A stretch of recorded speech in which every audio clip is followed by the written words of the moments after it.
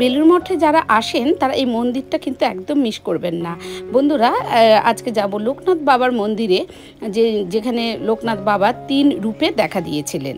নমস্কার বন্ধুরা, কেমন আছেন সবাই? আশা করি খুব ভালো আছেন। আর আজকে দেখুন, একদম সরাসরি জলখাবার নিয়ে শুরু করলাম আজকের ব্লগটা গতকালের যে চালের রুটি, সেটা বেঁচে গেছিল, শীত ছিল আমাদের দিনের তরকারি আর দই মিষ্টি। এই দিয়ে আজকে সকালের খাবারটা শেষ করব।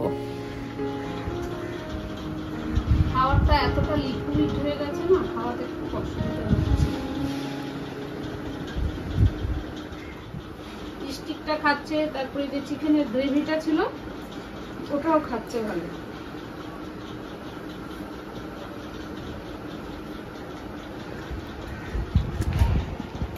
পুরো লিকুইড হয়ে গেছে। মাখা মাখামাখি হয়ে যাচ্ছে, বুঝতে পারিনি, এত লিকুইড হয়ে গেল।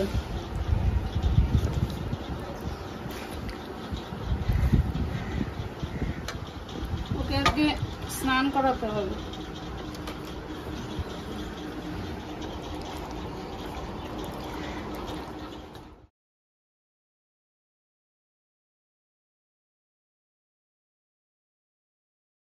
এখনও আঁকাটা কমপ্লিট হয়নি ইনকমপ্লিট আছে। এটা এটা করবি, তাই তো? আজকে আঁকার ক্লাস আছে। কর, আঁকাটা কম খাওয়া হয়ে গেল। এই যে এবার লিওর দুপুরের খাবার, এটা আমি বসাচ্ছি। তোমরা তো জানো কি জানো না, জানি না। আমি একদিন ভেবেছি দেখাবো ওর ডে রুটিনটা প্রতিদিনের যা হয় করি, খাওয়াই, দাওয়াই, সেটা দেখাবো। একদিন এই যে গাজর কেটেছি সয়াবিন দিয়েছি এর মধ্যে, মিষ্টি কুমড়ো দিয়েছি আর গাজর, মিষ্টি কুমড়ো সয়াবিন হয়। তিনটে জিনিস আছে এখানটা সবজির মধ্যে আর কিছু নেই সেভাবে। আর ডিম সেদ্ধ করব। দই দিয়ে রুটিটা খাওয়ালাম সকালবেলার, কারণ তরকারিটা আমার ছিল না, কালকে আমার সারাটা দিন যেহেতু ডিউটি ছিল, তো আমি করতেই পারিনি কিছু রান্না বান্না সেরকম। আর বললামই তো, কালকে গীতুদি বলে একজন দিদি একটা আমাদের খাওয়ালো রাত্রিবেলা, সেই জন্য রাতেও কিছু করিনি। আর মেয়ের কালকে টিউশন ছিল, দুবার একটা আবৃত্তির ক্লাস ছিল, আবার ওই টিউশন ছিল বেলুর বাজারে। তো এগুলো করতে গিয়ে রান্না বান্না কিছু করতে পারিনি। তো এখন এটা করছি। আর দই দিয়ে খাইয়ে দিলাম রুটি, সকালেরটা। দই দিয়ে সাধারণত দুপুরে ভাত খাওয়াই, কিন্তু আজকে দই দিয়ে রুটি খাইয়ে দিলাম সকালে। আর এই সবজিটা দিয়ে মানে এটা সকালের সবজি হয়, সকালবেলা এই সবজি দিয়ে ডিম দিয়েও রুটি খাই।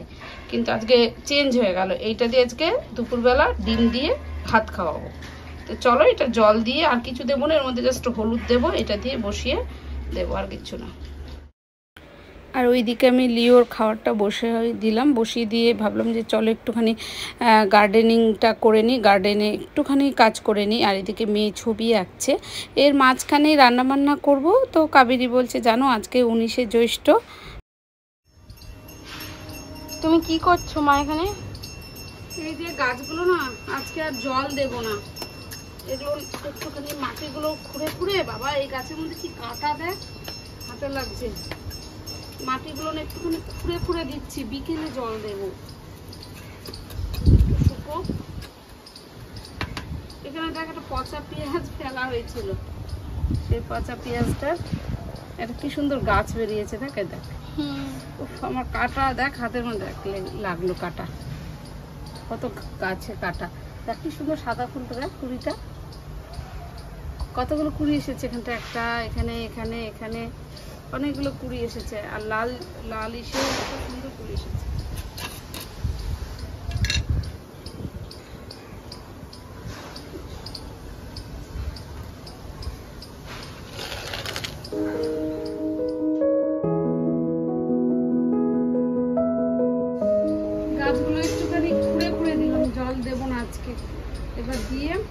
যাব স্নান করতে। স্নান করে পুজো টুজো করব তারপর অফিসে যাব।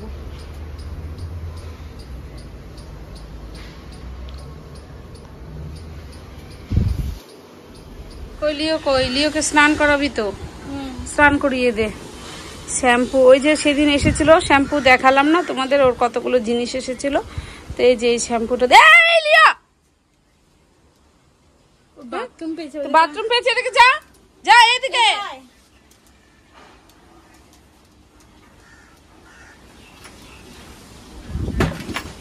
বাথরুম পেয়েছে বলে গাছের উপরে বাথরুম করছে। যা ওইদিকে কি করে যা। আর আমার স্নান করা হয়ে গেছে, পুজোও করা হয়ে গেছে, দেখো। পুজো করলাম, মহাদেবকে জল অর্পণ করেছি। কি ভালো লাগে সব থেকে কি ভালো লাগে বলো তো? গাছের এত ফুল, এই যে আজকে বেগুনি জবা ফুটেছে, দেখো। দেখো, কে ওর ফোন করছে? কে ফোন করছে রে?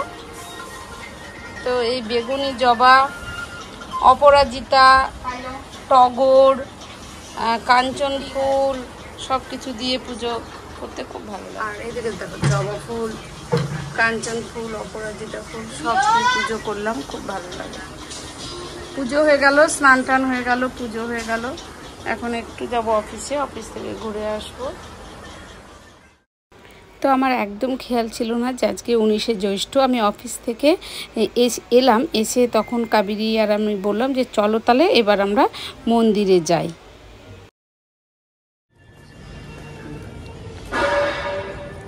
আমরা যাচ্ছি লোকনাথ মন্দিরে, লোকনাথ বাবার মন্দিরে। আগে যেতাম, অনেক যেতাম, অনেকবার গেছি। তো আজকে হঠাৎ করে কাবেরি বলল উনিশে জ্যৈষ্ঠ। তো আমি বললাম যে হ্যাঁ তো চলো যাই। তো চলো বেলুর মঠে যারা আসো, তারা অবশ্যই ওই মন্দিরটাতে যাবে, কারণ বেলুর মঠের কাছেই মন্দিরটা। তো চলো দেখবে, পুরোটা তারা খুব ভালো লাগবে, আশা করি তোমাদের। তো চলো দেখো মন্দিরটা। তো দেখো বন্ধুরা, আমরা তো লিলুয়াতে যেহেতু থাকি, তো সেখান থেকে টোটো করেই আসা যায়। এইটা একদম বেলুর মঠের পাশেই লাল বাবা কলেজ বলে একটা কলেজ আছে। ঠিক কলেজের গা ঘেঁষেই যে কাউকে যদি জিজ্ঞাসা করো লোকনাথ বাবার মন্দির কোনটা, তাহলে বলে দিবে। কারণ এইখানে কিন্তু বিখ্যাত এই মন্দির। আর এর ঠিক পাশ দিয়েই যেতে হয়, কলেজের পাশ দিয়েই ঠিক যেতে হয় ওই মন্দিরে। তো মন্দিরে যাওয়ার পথটাও খুব সুন্দর, আর মন্দিরের পরে আছে গঙ্গাঘাট। তো আমরা আজকে গঙ্গাঘাট যাব না, কারণ আমার মেয়ের আঁকার পরীক্ষা, আঁকার স্কুল আছে, তারপরে তোজোরও আছে, তোজোর আবার নাচের পরীক্ষা চলছে। তো এই সমস্ত মিলিয়ে আমরা এসেছি যে ঠাকুর দর্শন করব, প্রসাদ গ্রহণ করব সব কিছুই তো চলো তোমাদেরকে দেখাচ্ছি, যারা বেলুর মঠে আসো ঘুরতে, তো অবশ্যই মন্দিরটা দর্শন করো। এই যে আমরা পৌঁছে গেলাম, একদম রাস্তা থেকে একটুখানি হাঁটা এই যে মন্দির, তো এই মন্দিরে আমি আগে অনেক এসেছি, অনেকবার এসেছি, এখন আর হয়েই ওঠে না যে আসব। তো মন্দিরটার নাম হচ্ছে লোকনাথ মন্দির সত্যাশ্রী। এটা বলা হয় মনু বাবারও মন্দির। কারণ মনু বাবা বলে যে সাধু বাবা থাকেন ওনারই এটা আশ্রম। উনি এই আশ্রমটা যখন করেন, অনেক ঝড় ঝাপটা দিয়ে মধ্যে দিয়ে গিয়ে আশ্রমটা করেন। এখানে করতে দেবে না, এই জায়গা হবে না। মানে অনেক রকম যে বাধা বিপত্তি আসে, সেই বাধা বিপত্তিগুলো এসেছিল ওনার জীবনেও। তো এই বাবার কাছে মানে কত লোক, দূর দূরান্ত থেকে লোক আসে। বাবার সাথে দেখা করতে, কথা বলতে, বাবার সাথে দেখা করে কথা বলে না মনটা ভালো হয়ে যায়। তো বাবা লোকনাথ বাবার ভীষণ একজন বড় শিষ্য এবং তার সাথে মা কালী এবং লোকনাথ বাবা এবং রাধা মাধব, এই তিনজনার একই এক, মূর্তি মানে আমি যেটা শুনেছি, আমি এই বিষয়টা ঠিক জানি না বলে অতটা বলতে পারছি না যে বাবা লোকনাথ এক সময় তিনটে রূপে ধরা দিয়েছিল। একটা হচ্ছে রাধা মাধব আর একটা হচ্ছে মা কালী লোকনাথ বাবা। তো ঠিক এই তিনটে রূপই বাবার এখানটায় দেওয়া আছে। তিনটে রূপে বাবাকে এখানটায় পুজো করা হয়। আর যে পুজো করেন সে, উনি হচ্ছেন মনু বাবা। তো এই যে এখানে দেখছেন এখানটা দুপুরবেলা পুজো হয়। আর এত মনটা ভালো হয়ে যায় কি বলব? পুজোর টাইমে এখানে এসে যদি আমরা সবাই মানে আগে আমি এসে বসেছি, থেকেছি। তো মানে এত সুন্দর পুজো করেন বাবা, মনটা ভালো হয়ে যায়। বাবার সাথে কথা বলে মনটা ভালো হয়ে যায়। কারও কোনো প্রবলেম বাবার সাথে ডিসকাস করা হয়, বাবা সেটাকে সমাধান করে দেয়। তো এইরকম একজন বাবাকে আমরা হাতের কাছে পেয়েছি, সেটার জন্য তো খুব ভালো লাগেই লাগে। আর তার সাথে মানে আমি এখন আর আসতেই পারি না। তো দেখো তোমরা মূর্তিটা দেখতে পাচ্ছ। ওপরে বাবা মা রাধা মাধব ছিল, তারপরে মা কালী ছিল, তারপরে হচ্ছে বাবা লোকনাথ।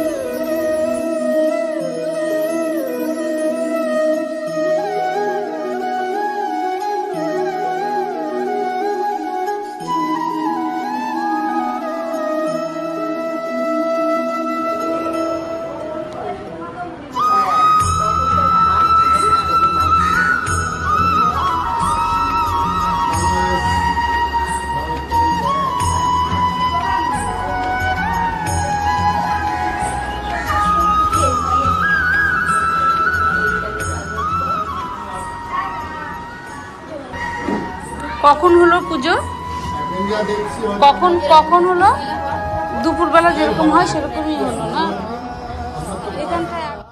তো আমার একদমই মনে ছিল না যে আজকে উনিশে জ্যৈষ্ঠ, না হলে হয়তো চেষ্টা করতাম সকালের দিকটাতে একটু এসে পুজোটাতে থাকার জন্য। কিন্তু হলো না যেহেতু আর কি করব, তো মূর্তি, মন্দির দর্শন করলাম, ঠাকুর দর্শন করলাম। এবং এই সময়টাতে এখানটা এসে জানো তো, অনেকটা সময়, অনেকক্ষণ বসেছে। যে এনারা বসে আছেন, এরকম পুজোর টাইমে বা পুজোর আগে, পরে অনেকক্ষণ ধরে বসে থাকা যায়। আর এই যে হচ্ছেন মনু বাবার ছবি, আমি জানি না যে ওনার সাথে দেখা হবে কি না। তো দেখা হলে খুব ভালো হতো, কারণ ওনার পুজো টুজো হয়ে গেছে, এখন হয়তো উনি বিশ্রাম নিচ্ছেন। তো যাই হোক এখানটায় প্রদক্ষিণ করতাম মানে যখন আসতাম পুজোর পরে গোটা মন্দির প্রদক্ষিণ করতাম। এটা ওপরে, জায়গাটা একটু ছোট, কিন্তু মন্দির মন্দিরই হয়।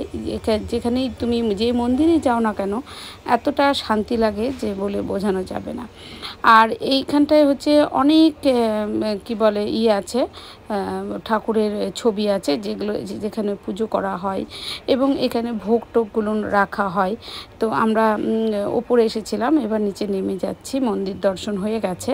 আর বাবাকে চলো দেখো এমন একটা মানে কি বলব ভাগ্য, নিচে নামছি আর বাবার সাথে দেখা হয়ে গেছে।